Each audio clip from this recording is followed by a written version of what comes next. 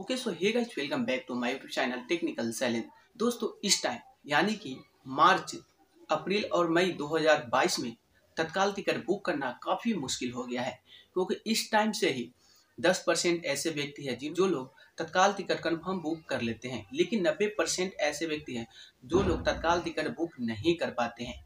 तो क्या मार्च, अप्रैल, मई में यदि तत्काल टिकट उसे कंफर्म नहीं मिलता है तो क्या वह वेटिंग टिकट से ट्रेन में सफ़र कर सकता है या फिर नहीं कर सकता? आज हम इसी के बारे में डिस्कस करेंगे फुल डिटेल्स में। लेकिन आगे बढ़ने से पहले अब तक वीडियो को लाइक नहीं किया तो लाइक कीजिए। चैनल पे नए हैं तो सब्सक्राइब कीजिए, ताकि आने वाले वीडियो का नोटिफिकेशन आपको सबसे पहले मिले। तो जब भी हम तत्काल टिकट बुक करते हैं तो यदि आप लोग कन्फर्म टिकट बुक कर रखे हैं तो आप लोग ट्रेन में सफ़र कर सकते हैं। लेकिन वही टिकट वेटिंग है तो आप लोग ट्रेन में सफ़र नहीं कर सकते। लेकिन यहाँ पे वेटिंग टिकट दो तरह से बुक किए जाते हैं, एक ई टिकट और एक आई टिकट सबसे पहले हम बात करते हैं आई टिकट को लेकर। जो लोग अपने आप से, यानी कि इंटरनेट की मदद से नॉर्मल टिकट या फिर तत्काल टिकट बुक करते हैं। यदि आप लोगों का टिकट वेटिंग लिस्ट में चला जाता है, यानी कि कंफर्म बुक नहीं कर पाते हैं तो क्या हम उस टिकट से ट्रेन में सफ़र कर सकते हैं या फिर नहीं कर सकते? तो दोस्तों, मैं आपको बता दूँ, यदि इंटरनेट की मदद से, यदि आप लोगों ने टिकट बुक कर रखे हैं नॉर्मल टिकट या फिर तत्काल टिकट लेकिन वो वेटिंग लिस्ट में है, और चार्ट बनने तक ये टिकट यदि कन्फर्म नहीं होता है तो आप लोग ट्रेन में सफ़र नहीं कर सकते।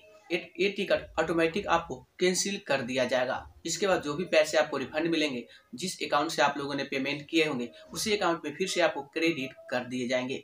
लेकिन आप लोग तत्काल टिकट या फिर नॉर्मल टिकट वेटिंग टिकट आपने बुक कर रखे हैं काउंटर से तो क्या हम ट्रेन में सफ़र कर सकते हैं या फिर नहीं कर सकते? यदि टिकट आप लोगों ने आरएसी कर रखे हैं तो आप लोग तो हंड्रेड परसेंट ट्रेन में सफ़र कर सकते हैं, लेकिन वही टिकट वेटिंग लिस्ट में आपने टिकट बुक कर रखे हैं नॉर्मल हो या फिर तत्काल हो, यदि चार्ट बन जाता है और टिकट आपका कन्फर्म नहीं होता है तो क्या आप ट्रेन में सफ़र कर सकते हैं? नहीं कर सकते। काफ़ी यहाँ लोग कन्फ्यूज़ हो रहे हैं, क्योंकि इस समय कोविड नाइन्टीन के टाइम वेटिंग टिकट से सफ़र करने दे रहा है या फिर नहीं दे रहा है। काफ़ी लोग ये जानना चाह रहा है। तो मैं आपको बता दूँ, यदि आप लोगों ने काउंटर्स थे वेटिंग टिकट आपने ले रखे हैं, यदि वो टिकट कन्फर्म नहीं होते हैं यदि आप उस ट्रेन उस टिकट से ट्रेन में सफ़र करना चाहते हैं तो आप कर सकते हैं।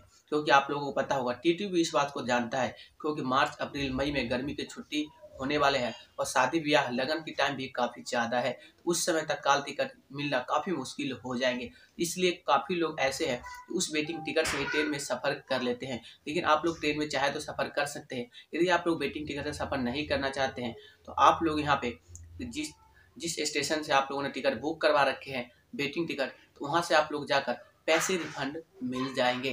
तो इस तरह से आप लोग चाहे तो वेटिंग टिकट यदि काउंटर से है तो आप लोग ट्रेन में सफ़र करना चाहते हो, कर सकते हैं। नहीं तो नहीं भी कर सकते वो आप पे डिपेंड करता है। लेकिन रेलवे की तरफ़ से अभी तक वेटिंग टिकट आपके पास है ई टिकट हो या फिर आई टिकट है तो आप लोग ट्रेन में सफ़र नहीं कर सकते। लेकिन काफ़ी लोग यहाँ पे वेटिंग टिकट से सफ़र कर रहे हैं। तो बस आज के वीडियो में बस इतना है। वीडियो पसंद है तो लाइक करना, चैनल पर नए हैं तो सब्सक्राइब करना। तो दोस्तों, मिलते हैं किसी और नेक्स्ट वीडियो में।